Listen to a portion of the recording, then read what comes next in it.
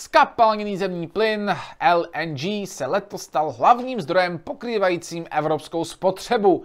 Na celkovém dovozu plynu do zemí EU měl v druhém čtvrtletí podíl 34%, zatímco podíl potrubních dodávek z Norska byl 23% a z Ruska ještě o něco nižší, tedy zhruba 20%. A tady se zastavíme. Nevím, jestli jste viděli moje poslední video skutečně nekorektně, aneb jak ruské a čínské prachy zařídili naší zelenou závislost na Rusku a Číně. A já vám tam říkám, že ve chvíli, kdy se představoval program Green Deal, byla závislost Unie na ruském plynu 20% a před ruskou invazí na Ukrajinu to bylo 40%. Takže Green Deal zvedl naší nebo unijní závislost na ruském plynu na dvojnásobek. Nyní tedy po, při invazi Ruska na Ukrajinu je ten podíl stejných 20%, plus ale, pozor, eh, pětinu z těch 34%, které, které k nám jezdí tankerama, je pořád z Ruska, takže z 34% je to 7%, takže stejně ten, ta, ta závislost Unie na ruském plynu neklesla o tolik, jak se zdá na první pohled. Přímo potrubíma ta závislost klesla ze 40 na 20%, kde to bylo v roce 2019. Ale dalších 7% závislosti na ruském plynu pochází z LNG terminálu, ze kterých nám chodí i ruský plyn z jedné pětiny. Takže ta závislost na ruském plynu je nějakých 28%, takže ze 40% jsme klesli, co se týče podílu veškerých dodávek plynu do EU, na 27%. A to není moc, nebo na 28%. A to není takový pokles, jo. Takže takový to, vypneme ty plynovody, všechno, to nebude fungovat. Mm-mm-mm. Pořád je to skoro třetina všeho. Takže jako nevím, no. Uh, jinak dále. Mm, využití kapacity evropských LNG terminálů se oproti minulým letům výrazně zvýšilo. Nyní se pohybuje na to 80%. Rekord padl v Dubnu, kdy terminály fungovaly na 90% maximální kapacity.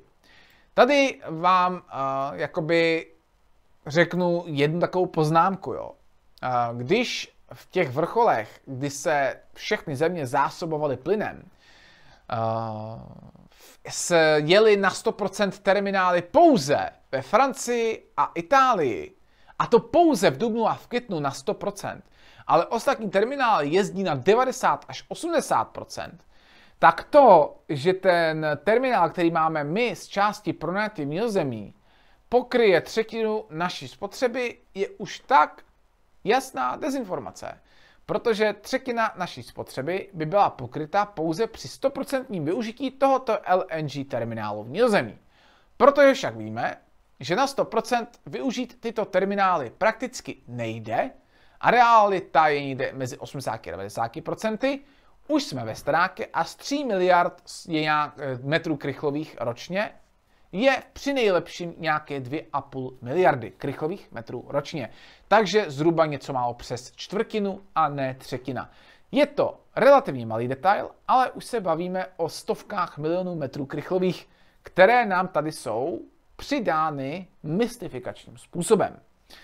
S nástupem topné sezony zájem o dovoz plynu zesílil, LNG terminály nestíhají přečerpávat a regasifikovat plyn ze všech tankerů, které do evropských zemí připlouvají a tak před těmi přístavy vzniká několika kilometrová kolona tankerů s LNG terminály.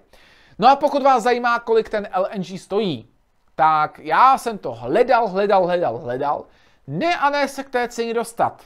Až nakonec mi pomohl rozhovor s německým profesorem Mariem Rakvicem z ECHA, který řekl, že ten plyn bude třikrát, minimálně třikrát dražší, ten LNG plyn bude, než klasický plyn, který jsme kupovali v roce 2019, takže počítej s třikrát vyšší cenou a to dlouhodobě, protože to bude trvat několik let, než se vůbec sníží ten tlak na LNG terminálech a než třeba ten dovoz bude nějak stíhat poptávku. K tomu všemu navíc ožebračujeme o plyn země v Ázii a tím pádem eh, si je znepřátelíme, naštveme a budeme muset stejně přistupovat k nějakým kompromisům.